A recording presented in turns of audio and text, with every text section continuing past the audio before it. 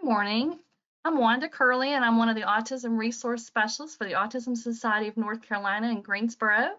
And I'm um, happy to welcome you to Practical Considerations for Parents and Caregivers, Navigating End of Life Planning, um, which we um, will be together for about an hour and a half to two hours discussing some practical considerations for parents and caregivers. I just want to say that I applaud you for joining me. This topic this morning can be a really um, what I call a heavy topic for us as parents and caregivers as we're talking about um, navigating end of life planning for our loved ones with autism or other disabilities. So thank you for joining me. Um, I also want to put just a little disclaimer on it that um, I am a parent of a 28 year old uh, young adult male with autism. I'm not a legal expert in any way or uh, a certified financial planner. So um, what I'm doing this morning is just sharing some practical considerations with you. And in a lot of cases, we'll be directing you to resources where you can get more information um, and maybe possibly legal assistance with some of these um, considerations for end of life planning. Outline to share with you just so you kind of know our plan for today um, our introduction, you know, why do we need to plan for the future? What are some of the barriers? What are some of the benefits? And, and then probably importantly, where do I start? We're going to talk briefly about some government benefits, state and federally funded programs that can help with end of life planning and um, guardianship and alternatives um, that's kind of a topic that we could talk about for uh, a while in itself. So I'll um, hit on the um, important points of that and then send you to some other resources.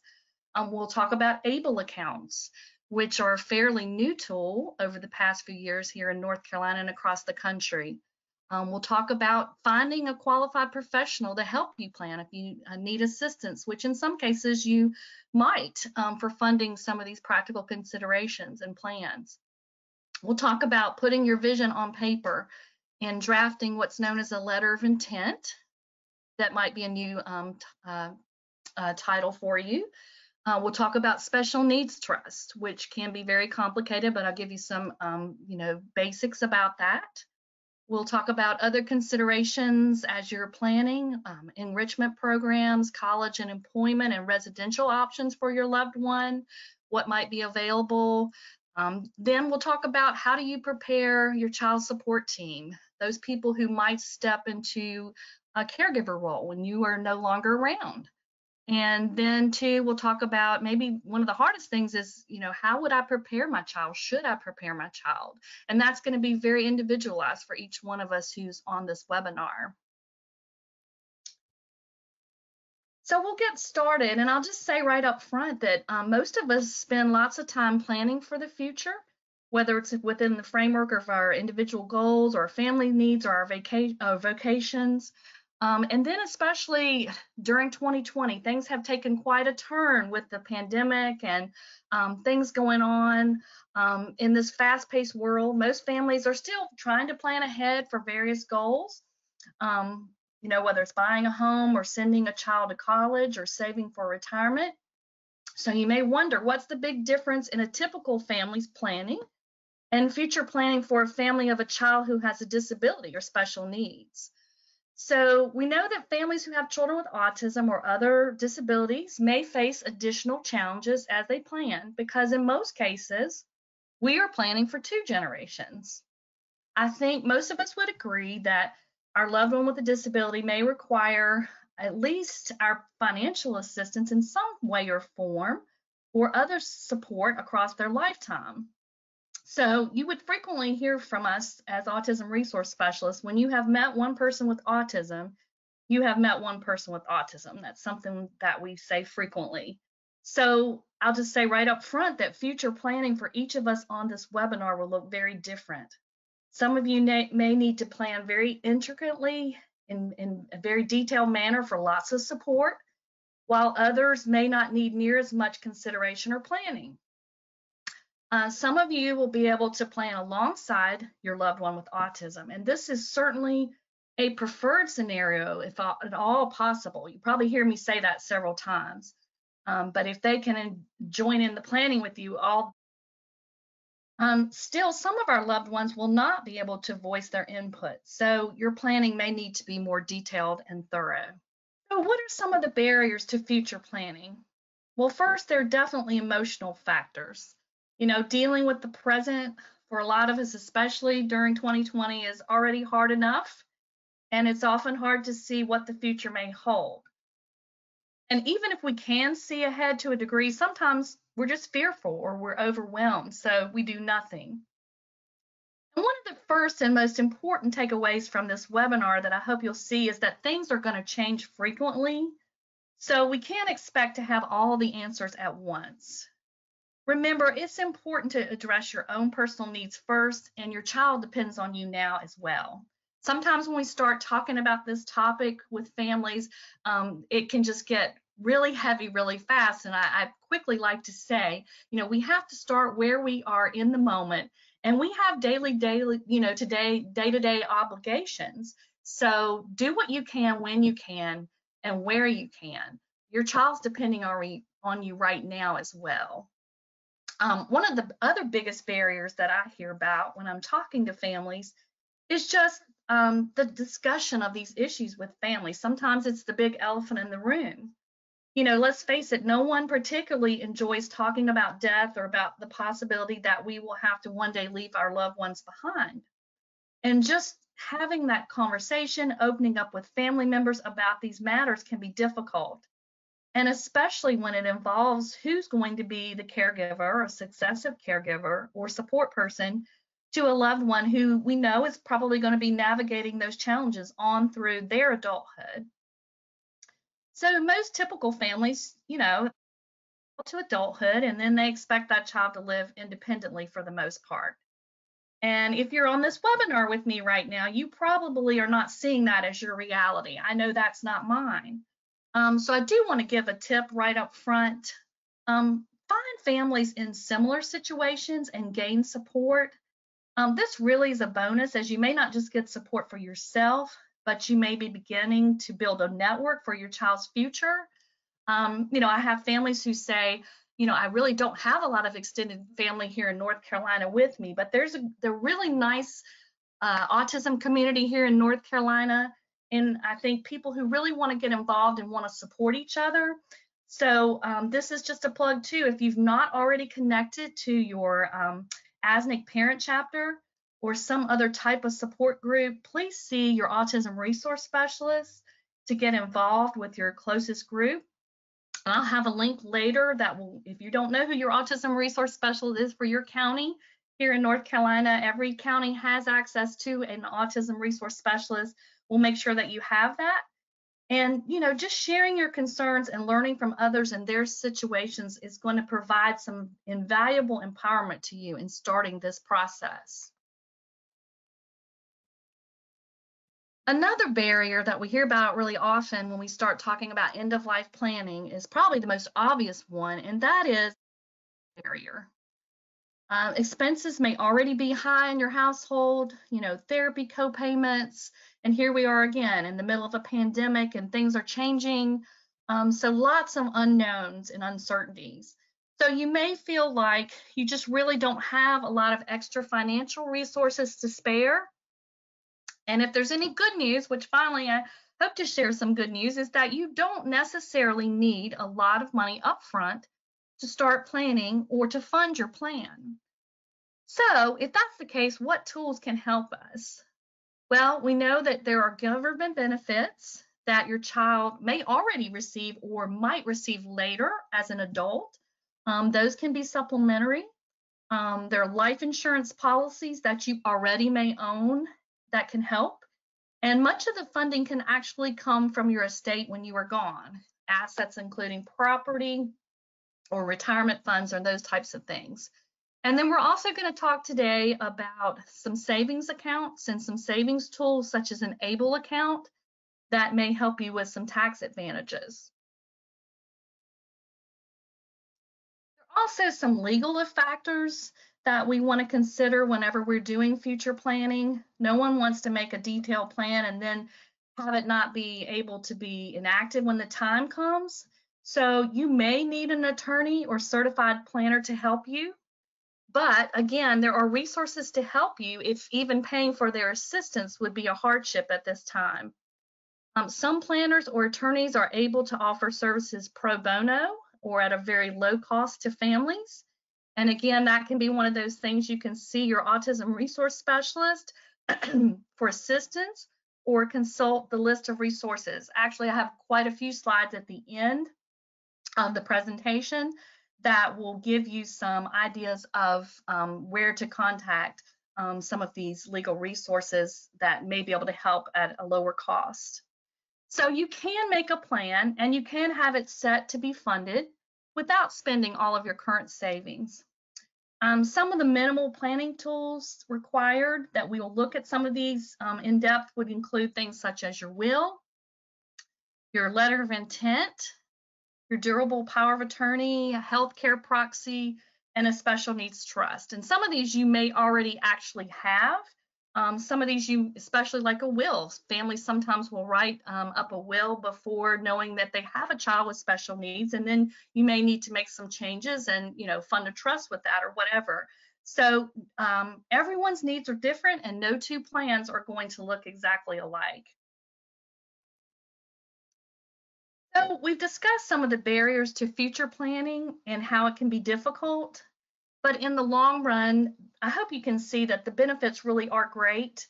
Um, many families of individuals with autism or other disabilities express that common concern of what's going to happen to my child when I'm no longer around. You know, I'm their their best advocate. So what will happen? Um, well, hopefully, getting a start on special needs planning and end of life planning can help ease your mind by ensuring that the provisions that are in place are carefully planned by you who already know and love your individual or your family member with a disability the most.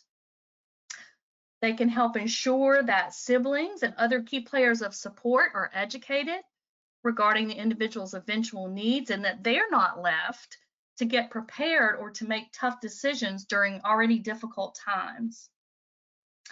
And then also, um, planning ahead can ensure that the well being of our loved one will stay secure and that their typical routines and lifestyles will be interrupted as little as possible when you are no longer around.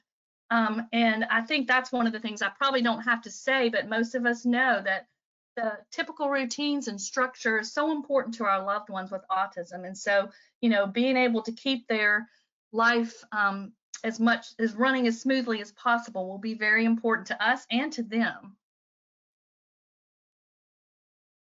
In a nutshell, future planning helps ensure your child's best life possible. So, um, before we start talking about a lot of practical tools and consideration, these are some of the areas that we might look at when we're starting to make a vision of what does that best life look like. These are things that you want to start thinking about if you haven't already. Um, what are the relationships and the friendships and the family that are important to your loved one, both now and and, and down the line? Um, what what what is their home like right now? What might it look like in the future? Um, health and wellness and safety and security. What does that look like for them? And what might it look like down the line? Their financial security, which we're going to talk about, you know, more practical considerations for that. Um, their education or employment.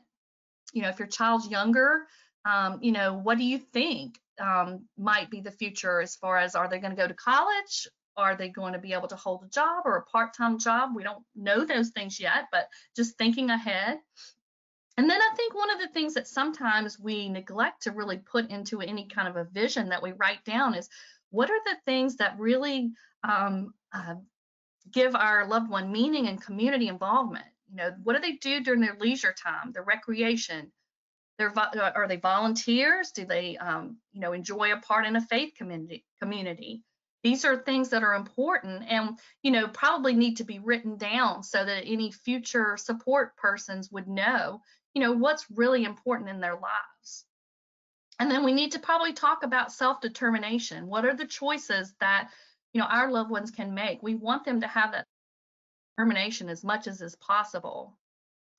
And then to support with decision making and self-advocacy, which is so important to our loved ones. So we start to make a vision when we look at our child's life like it is um, right now in each of these areas, And then we try to kind of anticipate as best we can. Remember, things are changing, but um, we want to look at what might be needed in the future and then what supports um, would be needed to make those things a reality. So as I mentioned earlier, I really want to stress that it's so important if you can include your loved one in this planning at all possible, you know, please include them to whatever extent they can be involved. Um, it's really important, I think, to encourage all individuals, regardless of their diagnosis or their disability, to have their dreams and to share those dreams and to live out those dreams and to be able to live as independently as possible. I think most of us agree that people who have that self-determination and, and, choice in their lives um, are ultimately happier and more self self-fulfilled and purposeful. So we want to give them an opportunity where we can. So I think before moving on, um, most of us would agree that just knowing that we've done all we can do to ensure that our child will be living his or her best life will be priceless to us as we get older. Um, I think that's a very, very priceless gift we can give to ourselves as well as to them. So now, before we move on, um, you know, we, we've discussed why future planning is important. And so let's talk about where to start. Um, in my mind, there are really three goals that we want to start with in our planning. First, we want to envision, we want to begin to make a plan, some of those categories I mentioned on the previous pages, and then thinking about who's going to be our child support team, especially, you know, if we were to disappear tomorrow, you know, who would step in to really um, be their champion and their advocate and help them if they needed it? Where would he or she live? What supports are needed? And then once we even have that vision, and maybe you, you know, already do, in your mind, but then it's very important to communicate and to share that plan with key support people um, to make sure you have documents in a safe but easily accessible place and make sure that there are people who know where those are.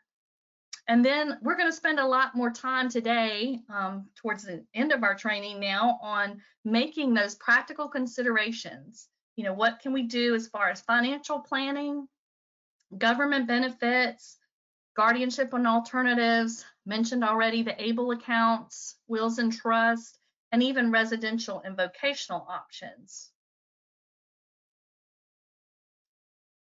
So once we're starting to envision that plan that we have, what are some of those practical considerations to consider? Well, let's start with government benefits, as many of us will not feel like we are going to have the endless funding to provide for every future need that some of our loved ones might have.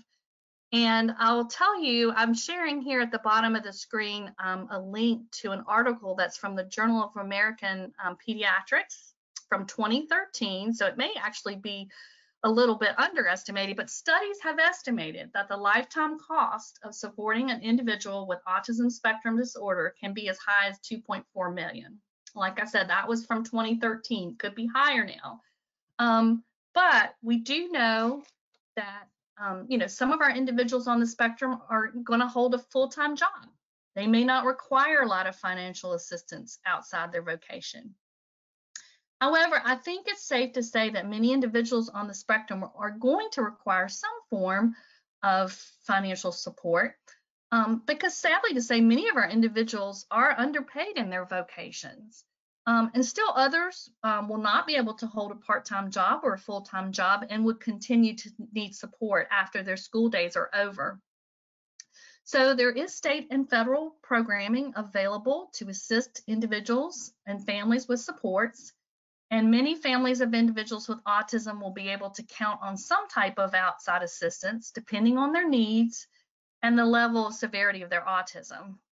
But as many of you probably already know, if you've looked into any type of government benefits or our state's um, uh, Medicaid programs, um, you know wait lists are long and they can be long and they are long here in North Carolina. So it's important to seek information as early as possible.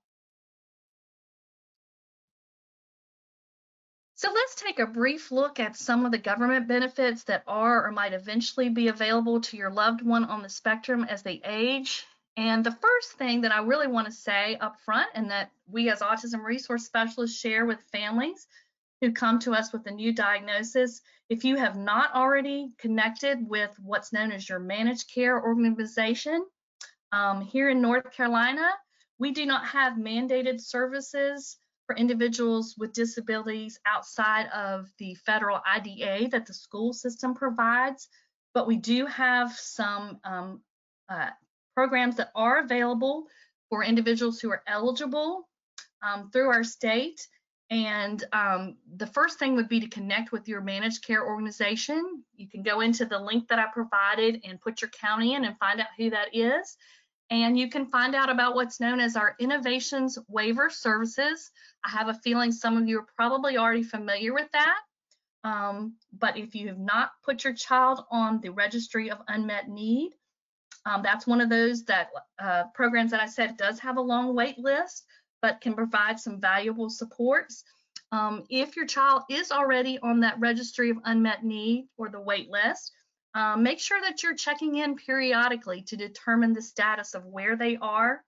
And while they're on that wait list or registry of unmet needs, they may be able to qualify for B3 waiver services, including respite or developmental therapies. So we also suggest that you check in with your MCO as anything changes and your child would need additional or immediate supports. Um, and actually, I could talk so much about accessing services. That's a kind of a topic in its own. So I'm going to send you to another link here for more information if you've not connected um, with your MCO at all before or found out a bit information about um, uh, Innovations Waiver Services, please do check out this link, this whole page um, at the bottom of the slide, the Accessing Services page, and we have lots of resources to help you get started with that. So um, I'll go on from there, but do check that out if you are uh, new to getting services through our state and federal funded programs. supplemental security income or SSI benefits. Um, another government benefit that may be available to individuals with a documented disability. Um, here in North Carolina, individuals who receive SSI are automatically eligible to receive Medicaid health insurance, and that's not to be confused with the Medicaid waiver services that I mentioned on the previous, previous slide. Um, individuals who receive SSI do not need to apply separately for Medicaid. Um, two key things to remember with SSI depend on the age of your child.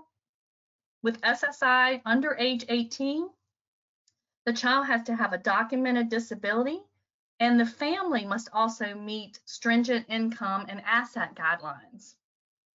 Now, what happens um, when an individual is 18 and they're considered an adult, then the income and the resources of the family are not considered, and just the income and resources of the individual um, are considered. So sometimes that's a game changer as our uh, children are growing up and become adults. They um, actually may not have received SSI as a child, but are able to get it as adults.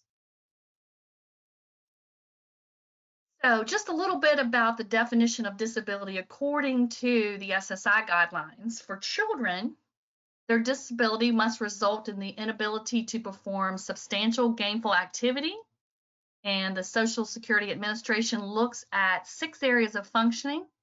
They look at acquiring and using information, attending and completing tasks, um, interacting and relating with others, moving about and manipulating objects, caring for self, maintaining health and physical well-being and the child must show marked limitations in two of these areas or extreme limitations in one domain to be considered potentially eligible to receive SSI. For adults, the requirements are similar. Um, one thing to note here is that not all adults with a diagnosis of autism will qualify as having a disability for SSI purposes. Uh, the eligibility for adults will depend on the degree to which their autism affects their daily living, the ability to care for themselves, and their ability to hold a job. So we know that some individuals who qualify for SSI may work as long as they carefully follow certain guidelines regarding their income and assets. And some of the tools that we're going to discuss in just a minute will help greatly with financial resources for an individual, especially an adult individual who works and receives SSI. So as far as eligibility, the income and asset eligibility requirements can be found at this link.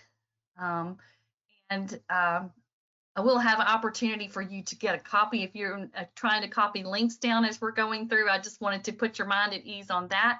Um, if you uh, are moving along, I'll make sure that you're going to be able to get those at the end of the presentation.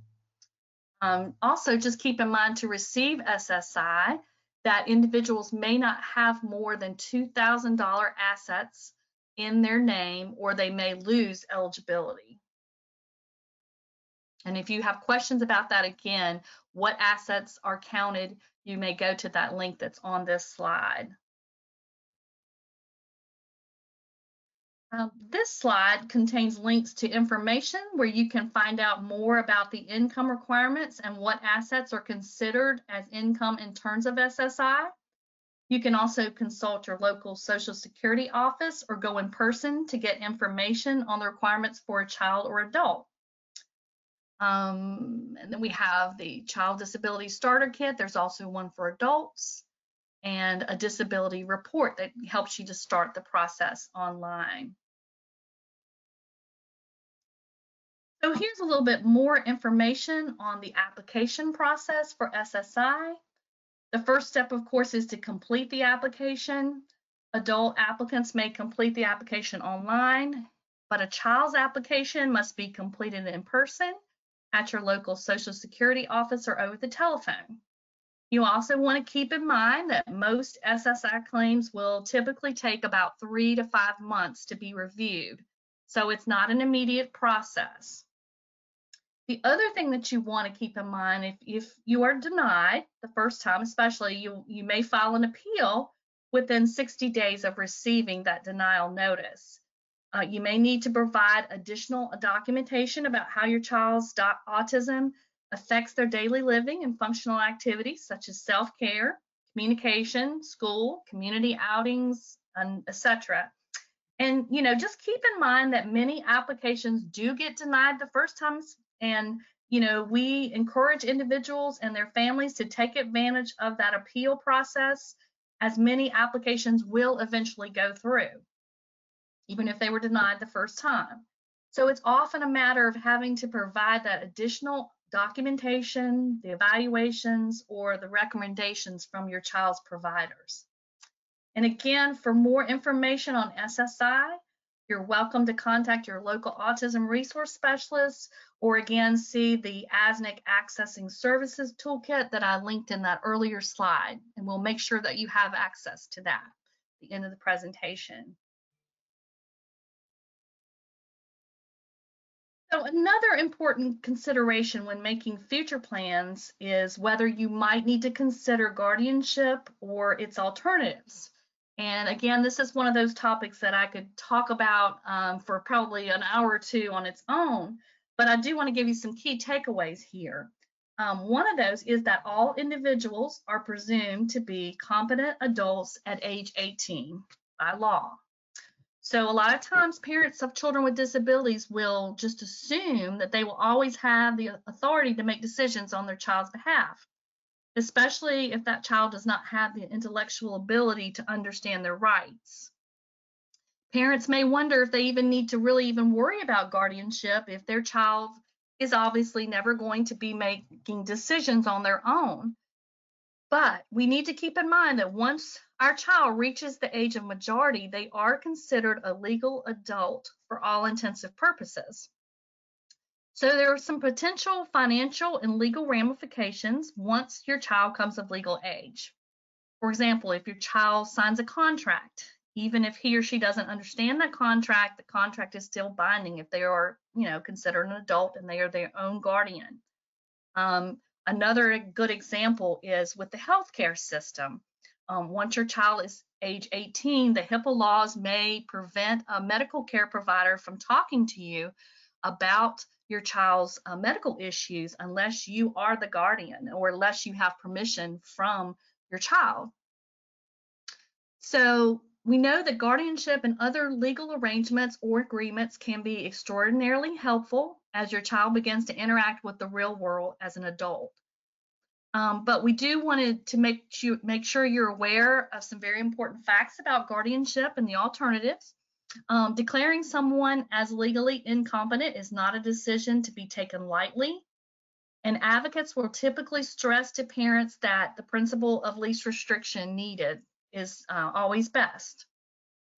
So again, the key points here are that at the age of 18, a child is legally considered an adult. The parents are no longer the legal guardian once that child once that child reaches the age of majority. Um, and some adult children will need the protection of a guardian if they cannot care for themselves or communicate or make important decisions in their own best interest or manage their financial assets. But guardianship should never be automatic. Not all individuals with autism spectrum disorder will require the protection of a guardian. Um, and basically what we're looking at is considering the strengths, weaknesses, needs, and best interest of that individual before making a decision to seek guardianship. Many individuals with autism do not need the protection of the full guardianship, as I said. So some of the lesser alternatives to consider, and all this information is going to be included in the links that you see on these slides. But just to give you an idea of what we might be looking at, um, some of those alternatives would be limited guardianship, using power of attorney, a representative pay, payee for SSI, or a newer alternative, which you may or may not have heard of, called supported decision making. Um, with these lesser alternatives, some individuals who are able to function at least semi-independently would get the needed support that they need, yet they would not lose their legal rights unnecessarily. So guardianship and alternatives is a topic, like I said, we could discuss it for a while. So I want to point you to these resources that we have on our website. Um, if you'll look at the first link, that is a webinar under our archived um, webinars, our library of webinars. It's a free webinar. And it's called Autism Guardianship, What You Need to Know. The second one um, is a link to access our 11-page uh, guardianship resource guide and developing an individual transition plan. And those are great resources found at our Transitioning to Adulthood page at the link that you will see um, on the slide. The third one is actually a link to a blog that explains to you more about supported decision making, which is where um, an adult could have um, mentors around them to help them make decisions, um, financial decisions, or any other decisions that might need to be made.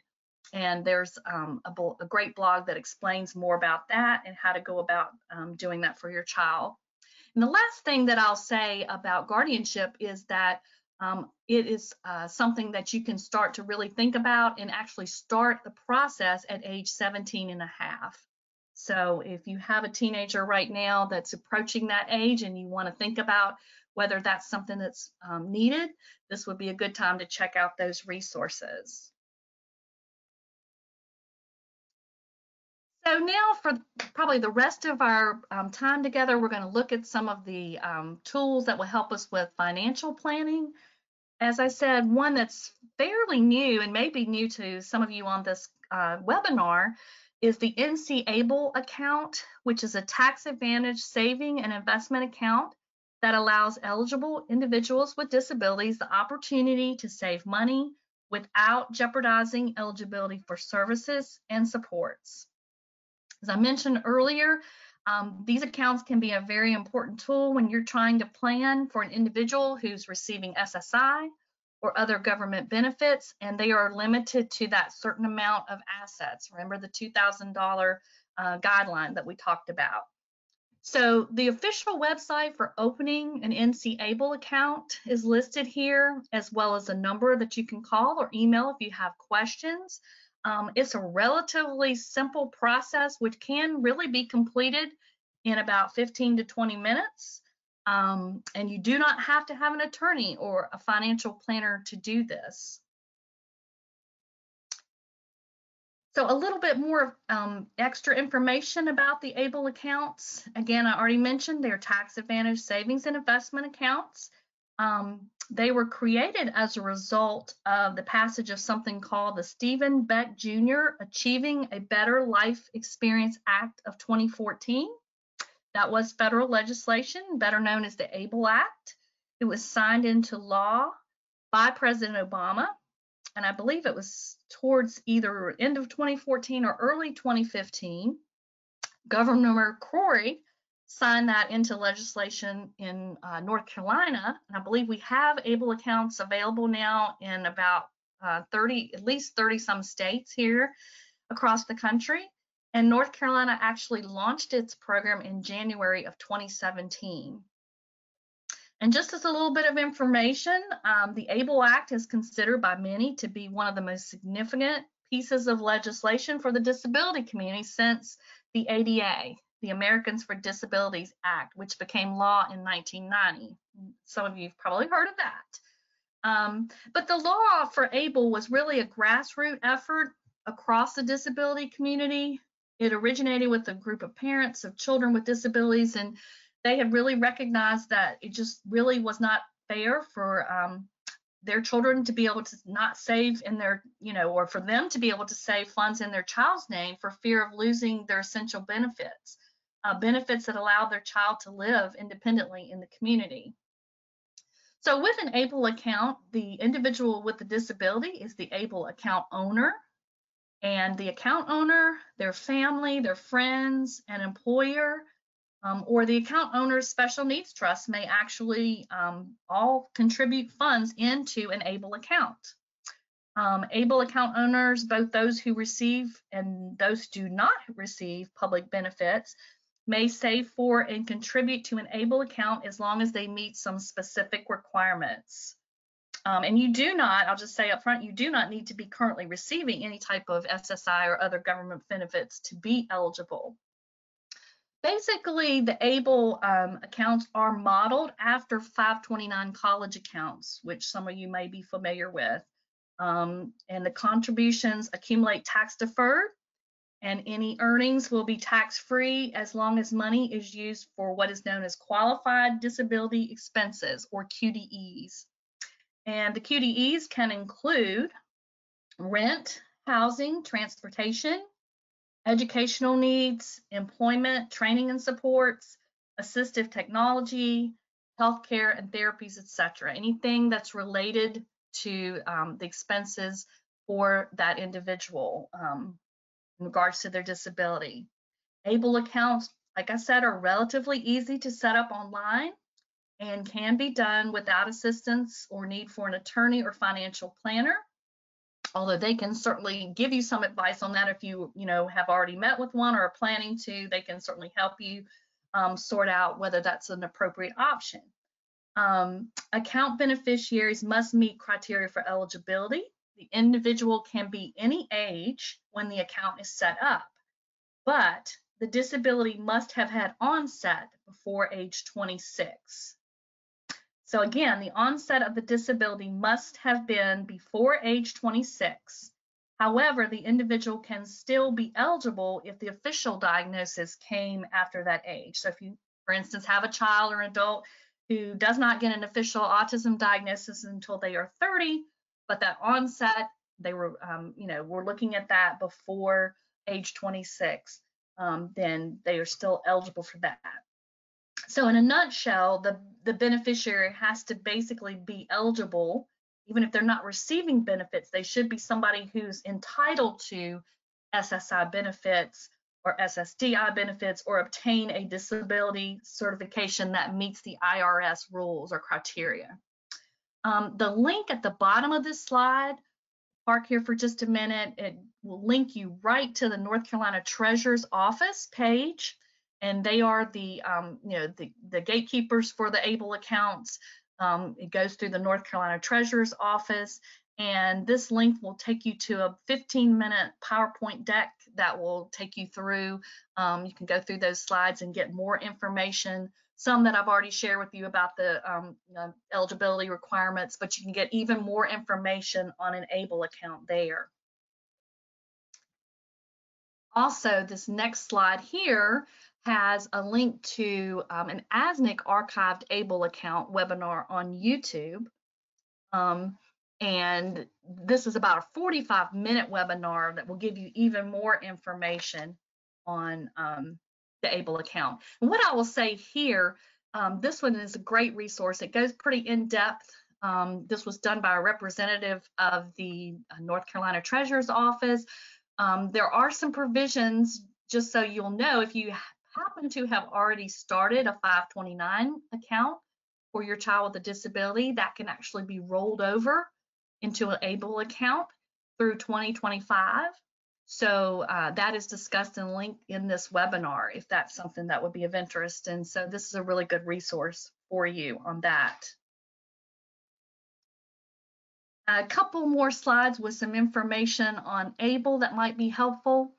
Again, the accounts can be opened by the individual with a disability or by a parent or guardian on their behalf.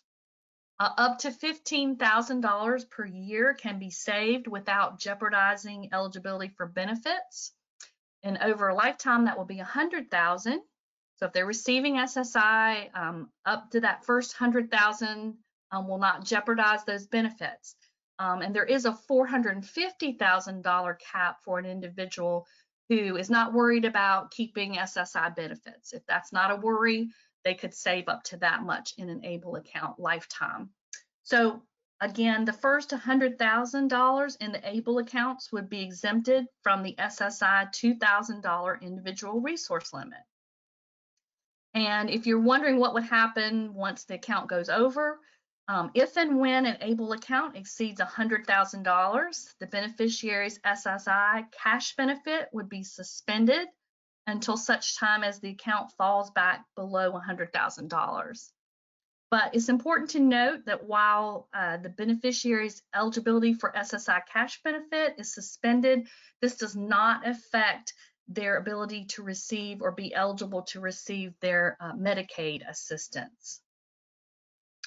Additionally, one thing that you may want to find out about, and this is also discussed in the um, ASNC archived webinar on ABLE accounts, um, upon the death of a beneficiary, the state in which the beneficiary lived may file a claim to all or a portion of the funds in an ABLE account that is equal to the amount that that state spent on the beneficiary through their state Medicaid program.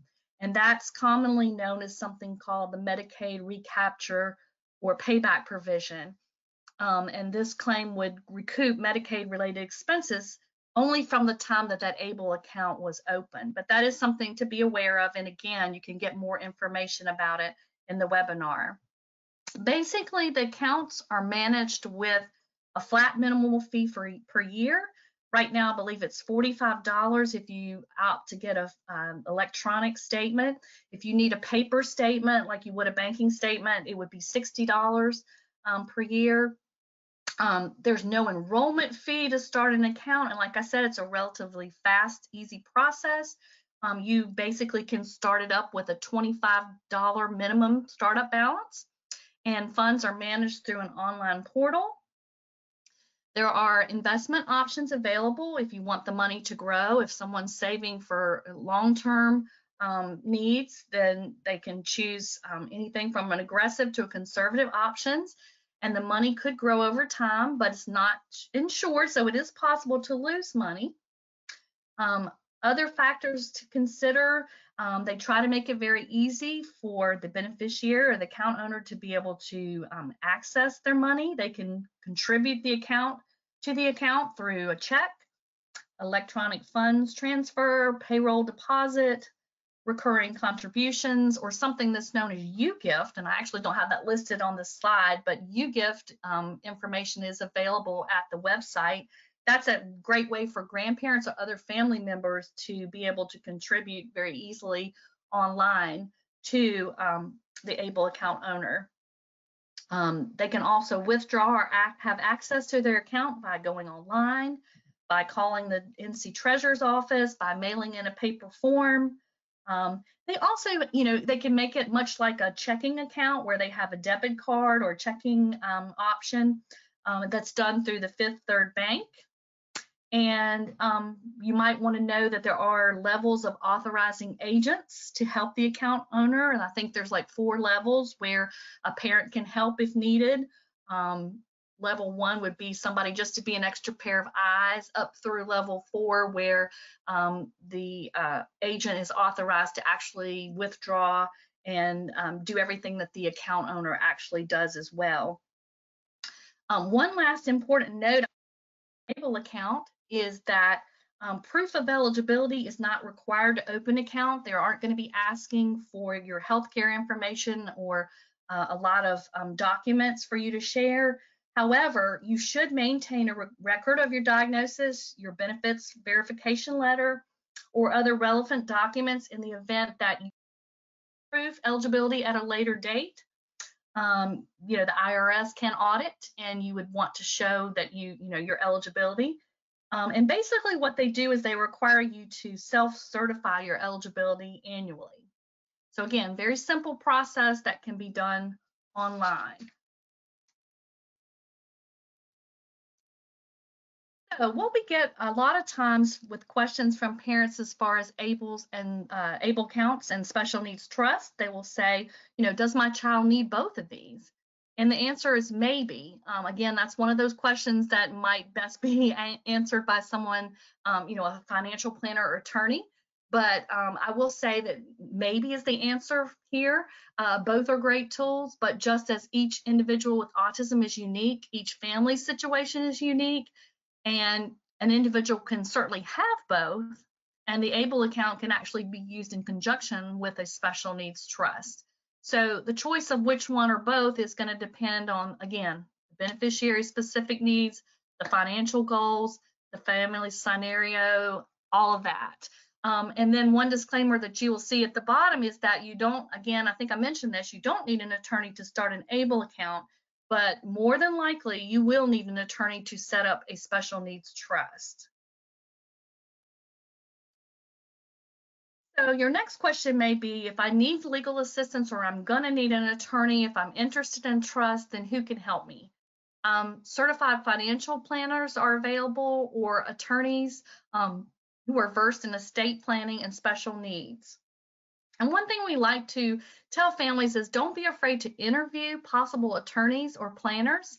Um, there are lots of uh, attorneys out there with estate planning, but you uh, may want to ask what their expertise is um, in regards to special needs planning, for especially for a person with autism. Um, what is the planning process you use to serve families? What educational background do you have and what continuing education have you attended recently? And then a lot of times it's great just to, you know, ask for some references. Can you provide me with three families as a reference? Um, and then we want to say again, this is another one of those times where you're welcome to contact your autism resource specialist to get referrals for certified planners or attorneys who have served families in your area. Um, and this is the link. Um, I mentioned this earlier that we would have this, but if you do not know who your autism resource specialist is, You'll go to this link um, under our website, talk with a specialist and put in your county. You can find out who um, the folks are in your region who can help you with that. And again, if you read the very bottom of the slide, um, we do want to stress that autism resource specialists are not legal advocates in any way, and we cannot advise on legal matters, but we can direct you to legal resources in your area. So before we tackle the more complex special needs trust, um, let's talk a minute about a document that's a non-legal document that's called the letter of intent. Uh, the letter of intent can be very important um, for future caregivers and support team, and it basically allows you to communicate exactly what you and your child envision for their future. Um, the letter of intent includes pertinent information about your child's daily routines, their likes and dislikes, medical information, current level of services, their leisure activities, their family history, key community players, food, diet, medications, benefits received, education, employment, residential environment, behavior management, their religious preferences, final arrangements, even basically everything and anything that is important and necessary to their present life and future needs. So it's really important to note that a letter of intent should be a living document and should be frequently updated because remember we said at the beginning, things are going to change.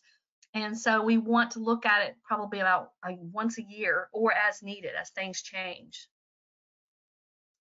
A tip that I will go ahead and provide when you're doing end of life planning, um, don't forget to include decisions that you as a parent caregiver can initiate up front to make end of life decisions for not only yourself, but for your loved one. For example, you might need to include uh, your desires for your child's aging health care, uh, their final arrangements at the end of your letter of intent, and include special provisions for their final arrangements um, in any trust or funds that you're starting. Uh, again, an attorney or a planner would be, be uh, better able to advise you on this, but just something to keep in mind.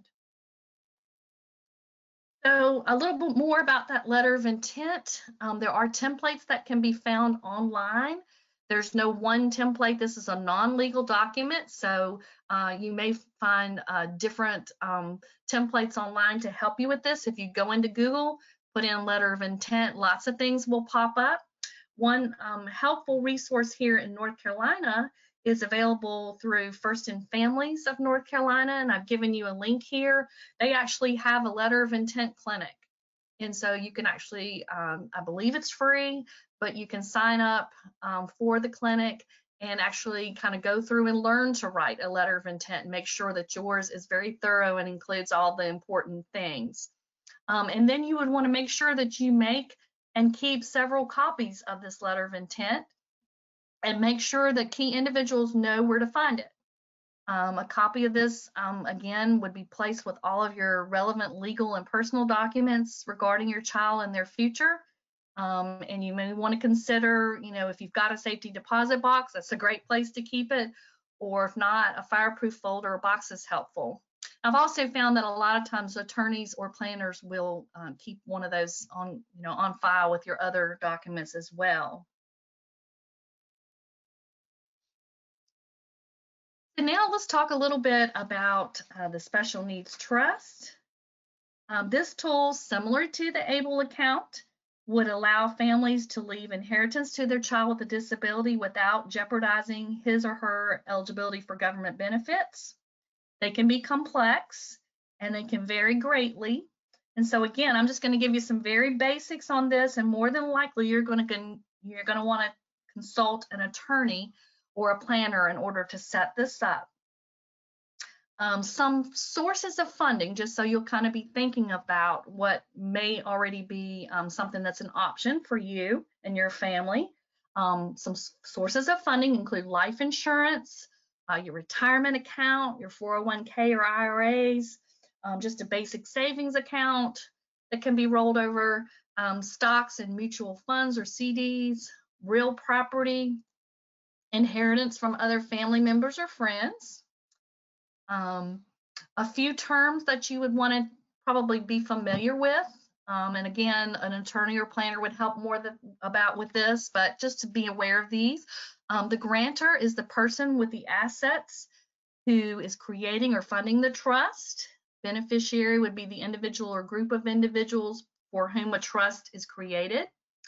Um, there are what are known as revocable or irrevocable trust. A revocable trust is a trust whereby provisions can be altered or canceled dependent on the grantor's wishes up to a certain point, usually their death.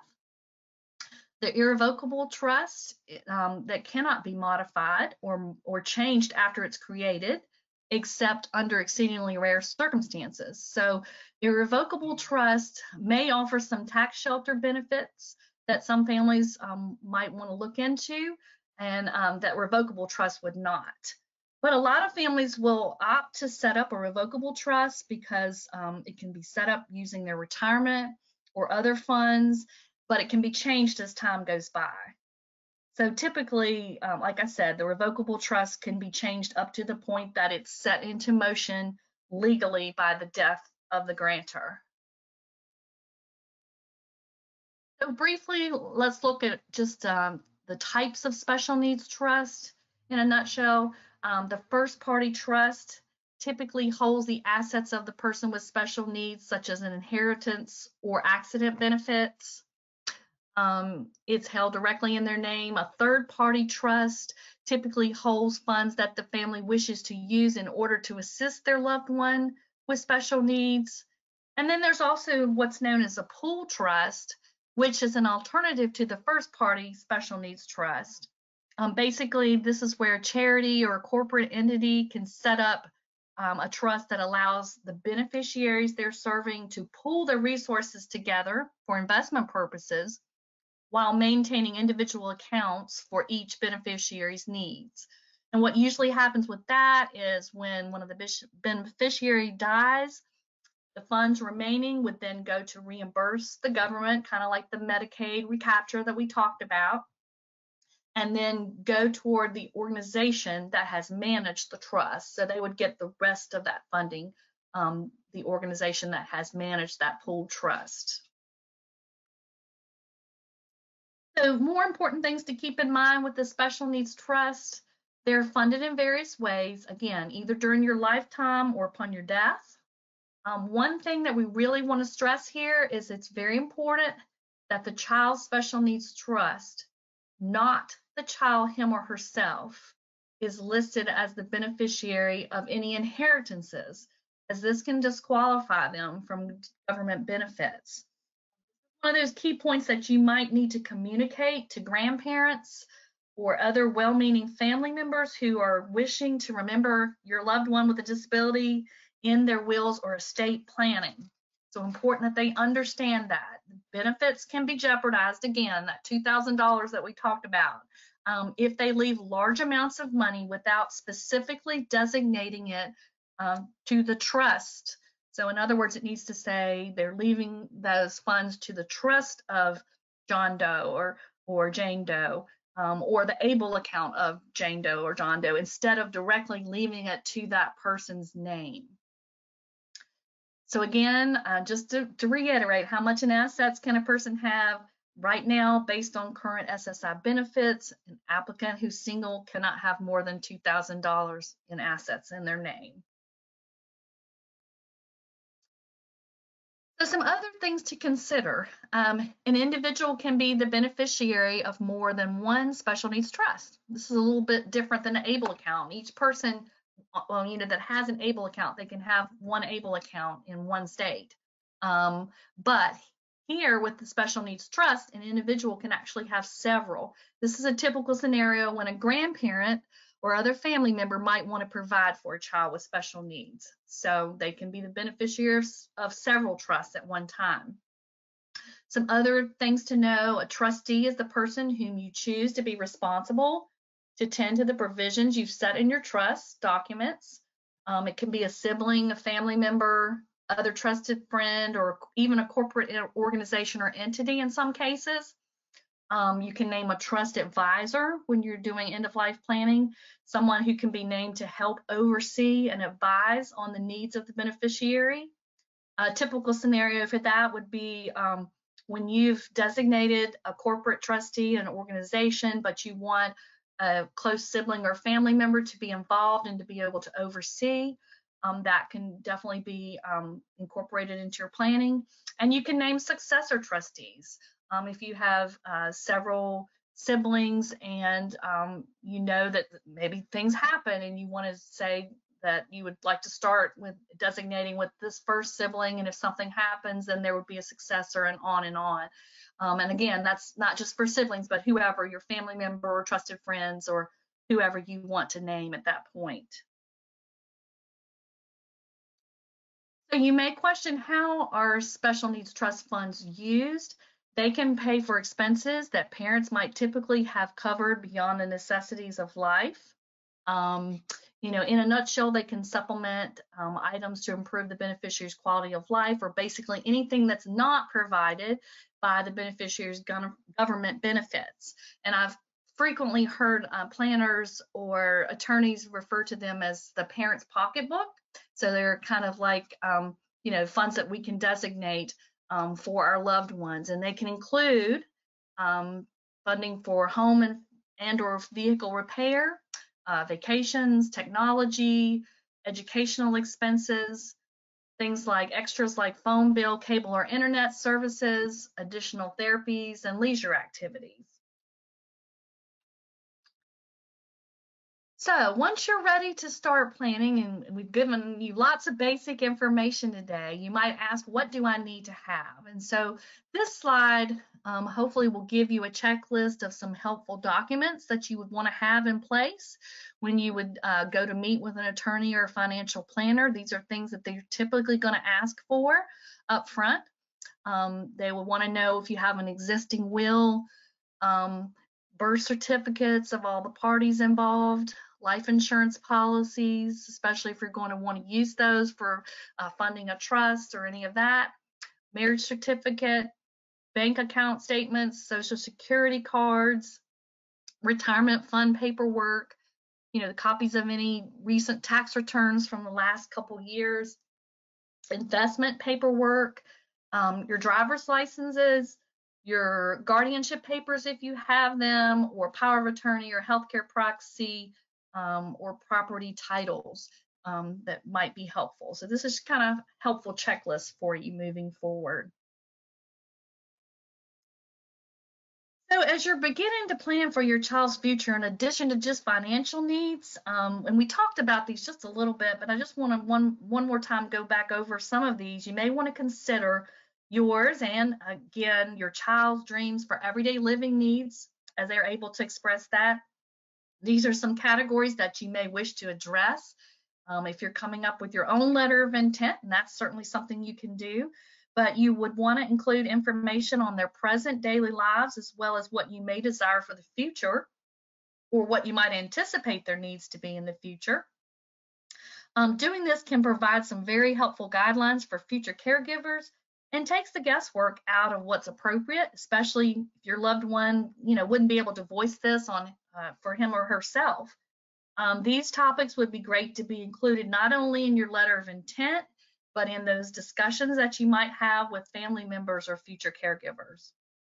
And, and again, I'll briefly go through these daily activities, the social piece, hobbies or extracurricular activities, you know, are there additional supports needed for respite, um, medical expenses or additional therapies you might anticipate, um, how does your loved one um, access transportation?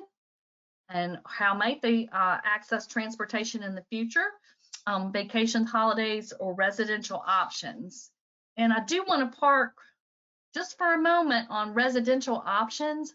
That's one of those topics that we could talk about for a long time but um, it's a very individualized topic. So one of the first questions I'll just throw out to ask ourselves is, will my child be able to live independently, semi-independently, or with support? Um, there's a wealth of information on our website. Um, and again, our needs are going to vary um, depending on our situations, but it's certainly appropriate to include uh, what you are thinking in your um, letter of intent, your thoughts about where your child may wish to live or with who if you were not in the picture, um, or what would be an appropriate option. So these resources will help you as you're thinking about this. We have a residential options toolkit for more information about the options available, whether it's independent living options and the, how to fund those to group living settings. So that's in a toolkit um, with the first link. And then our second link listed on this slide has online uh, webinar residential options for adults with autism that you can listen to a recorded webinar um, discussing those options that might be available. So I definitely would, you know, encourage you to check those out at some point. So once you've made your letter of intent, your will, and you may have set up an ABLE account or trust or other financial tools, your next question may be, am I finished? And that's that's a lot but remember things do change. So again i think i mentioned it earlier but we want to revisit that letter of intent in any of these other documents um, frequently as needed. Um, your child's birth date's a good reminder you know has anything changed since last year? Are there any key players that have moved or have passed away or any of those things or has anything changed with our situation? Um, and remember um, once you have that vision, it's really important not to just keep it to yourself um, or to tuck it away somewhere, as, as easy as that might be. Sometimes we don't like to think about these things, but we do need to communicate with and prepare key support team members. So an important question, have you shared your vision once you've got it down and got everything in place? Have you shared it with other family members or friends who are gonna, you know, be those people who step into that role for your child of being a caregiver or support person? Do they know where the important documents are? Um, and again, I mentioned early on, this, this can be a hard discussion to have, but have you asked your other children, if you have other children or other family members who might be involved, how do they feel about the responsibilities of guardianship, trustee or caregiver or advocate or any other future role they might have? Um, you know, sometimes you know, we just assume that people are going to step into certain roles without, you know, really coming out and asking them how they feel. So, you know, a lot of times as autism resource specialists, we will say to parents, what's your plan B? Um, remember, people's circumstances change. So be thinking about that and keeping that in mind. And then hopefully, when, you know, with the letter of intent and everything that we've planned and written down in our vision, you know, future caregivers are hopefully going to know the important people providers and the places and activities in um, our loved one's world. Um, you know, and for some, especially, we don't always think about it, but if a sibling who might be stepping up as a future caregiver has moved to California um, and is not here in North Carolina to really know everything that's going on, it's important that we're, you know, uh, relating that, writing it down, things that are important so that um, they would not, again, have to scramble if they were to have to step up to the plate and take over with offering support. So we're getting down towards the end of our presentation, but um, the next slides, I want to talk about something that's kind of uh, probably one of the most difficult things for us to think about, and that's how and if we should prepare our child um, for the eventuality that we will not be here. And that's going to, again, be a very individual process for each of us, but just want to give you some food for thought. Um, one of our um, favorite folks on the autism spectrum, Temple Grandin, has given us a nice quote here. Unfortunately, most people never observe the natural cycle of birth and death. Um, so, you know, we hopefully are going to be able to, if we're addressing this topic, um, you know, talk about the natural cycle of birth and death. Um, we know that most of in, individuals with autism want to know what's coming next, how long it's going to last, and when it's going to be over. So again, that said, each of us is different. Social narratives and dialogues may help a lot with our individuals. Um, planning ahead and keeping routines similar will most likely be a great help as well. Um, and I want to take a minute to talk just about a brand new resource that we have on our website that was created by um, some of our clinical team. Um, they've done a lot of great um, narratives for us over the past few months with the pandemic, but one just went live yesterday under social narratives, and you'll see the link here. And it is a link to some narratives on death, actually gives some and loss. So it actually goes a little bit even beyond but you know talking about loss or grief and how to handle that with our individual on the spectrum um, and they give some great samples of um, social stories written how to explain um, to a person about death or the loss of a loved one so please check those out um, there's also a great blog that's going to go live on this very very topic so I won't go into it on great detail, but I will say please check this out if it's of interest to you. Um, it just went live yesterday. So some just some basics I do want to talk about that everyone um, deals with grief and loss in their lifetime, and this certainly includes individuals with autism, um, and they may need some extra support. Um, for those on the spectrum, there may be a mixture of cognitive, behavioral, and emotional reactions when they are trying to express grief over a loss. Their timetable for grief may look very different and may be extended. Uh, they may react with anxiety or fear whenever loss or death is discussed. And again, this is going to be very individual. Some of us are going to decide that, you know, this is not something we're going to be able to do a lot with up front. um, until the time comes where we would have to, you know, deal with that because it might cause a lot of anxiety. Um, but then other individuals are going to want to talk about grief, and we can use everyday, um, you know, processes and life cycle to talk about these things. Um, or individuals, you know, may have difficulty expressing their feelings and react very differently than expected. For example, an individual might end up laughing while others are tearful.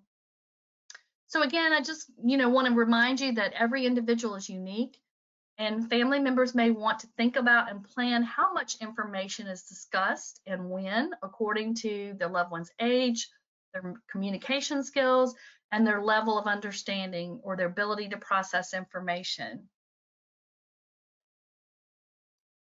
Some possible coping strategies that you may see from an individual on the spectrum just in dealing with grief or loss um, that are different, maybe from neurotypicals. They may favor solitude over sharing of emotions or receiving comfort from someone else. So a lot of times we know that typically um, we lose someone in our family, um, we want to be around other family members. We want to gain support or share emotions or receive comfort. And this is not always the case with someone on the spectrum. Um, sometimes they are focusing on their special interests or their familiar routines because that's their way of coping um, with something that's that's different or new to them. Sometimes they react by being extremely logical or focusing on a problem solving rather than sharing feelings. And I think it brings us to an important tip that we just need to make sure that we don't equate lack of emotion or a different type of emotion or a delayed reaction with a lack of empathy. Remember that reaction may be very different than what's expected or it can be very delayed. Um, you know, and that can be a little bit offsetting, um, you know, for a family member who's stepping up and seeing that, you know, uh, John is worried about, you know, what he's going to do for bowling on Monday night when, you know, John was used to going bowling with his dad or his brother that he's lost on Monday night. So um, that might seem an unusual reaction. Um, but that's something in his mind, you know, that he's trying to focus on problem solving rather than really being able to share the feelings about what's going on or what he feels like inside some extra strategies for support um, that we might want to think about. Um, listening, observing, affirming feelings, reassuring, and being patient. Those are like the key key words here. Um, we don't want to avoid talking, but explaining fully as we can, um, and providing opportunities to talk more as needed. Whenever we're thinking about broaching the topic of death or loss with an, a loved one with autism, we want to keep our discussions consistent with their developmental level. Um, sometimes comfort is just through giving basic, concrete information and keeping their daily routines the same as possible. Um, and one tip here, remember individuals with autism may have difficulty with abstract concepts. So uh, we want to remember that language can be interpreted quite literally. So we want to avoid uh, ambiguous phrases such as going to sleep or passed away or we have lost Uncle Joe or whatever. These may need to be avoided because they may not understand, uh, you know, that uh, literally or take be able to understand that. Some more strategies, just giving concrete examples of death and what it means. Again, um, taking uh, advantage of those um, everyday moments that we can, for instance, with the death of a pet or um, something in, in, in the environment, comparing a live pet such as a fish to a deceased one, using daily examples um, to explain death as part of the natural life cycle. You know, everyone is born, everyone dies at some point. Um, and sometimes just, you know, for some individuals, teaching before the loss occurs can be helpful. Again, that's a very individual thing. Um, some of you may want to consider uh, having your loved one view videos or um, look at books about when someone dies. And that can help make the concept more concrete, especially if you know that there's an impending um, death to come in the family. Sometimes, you know, preparing that individual by, um, you know, getting more information from a video or book can be very helpful. Also, just providing opportunities for participation um, in bereavement activities. If you're going to do that, um, you would want to be sure to prepare ahead with social narratives which explain the events that are going to happen, say at a funeral or some type of um, you know wake or whatever, um, and give the expectations, what's expected, um, like basically a social story on what might happen at a funeral. Um, just some possible activities to think about. And again, the blog that's gone live um, from our clinical team on loss and support will be very helpful and go more in depth on this, but just some things to consider um, when you're helping an individual on the spectrum cope or um, process death. You know, they may want to create a memory box of objects that would bring happy memories or creating a photo album or a scrapbook or maybe doing that favorite activity together with someone new that they used to do with their loved one you know finding a way to keep that routine um, you know alive for them. Sometimes just writing letters or journaling or drawing pictures can be really helpful. Remember that you know that process of loss or grief can be um, you know different and it also can be very extended for them And just some ideas for parents or caregivers. Um, just briefly, you may want to write a letter or make a video containing thoughts or messages that you want to leave behind for your loved one. Um, and you can consider maybe placing a significant object or trinket that the person associates with you along with your photos in a special box for that one that you leave behind. And these ideas were actually taken from a book um, that I found to be very helpful. Um, it was called Taking, uh, excuse me, Understanding Death and Illness and What They Teach About Life by Catherine Faherty, who's um, a professional who's worked with the TEACCH Center. She lives in the western part of the state, but has has done a really um, that might be very helpful, and that's what we're actually taken from.